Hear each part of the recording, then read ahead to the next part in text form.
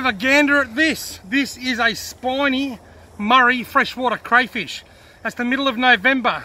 This fish is protected, this crayfish is protected. It's oversized and it's out of season. Look at the size of the tail on that. No eggs, beautiful big male cray, massive big claws, totally unblemished.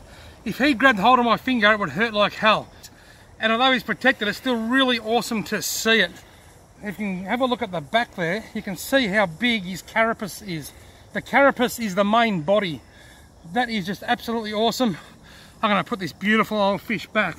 These crayfish are prehistoric. They are old. They are just absolutely amazing.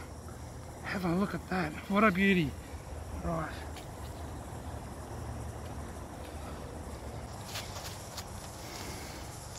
Rightio, big cray. Go back where you belong. Have a look at the size of it. Next to my boot, look. I'm a size 12 or size 13 boot. That is huge. That is so exciting. Wow, I would have thought the water would be too warm, but obviously it's not.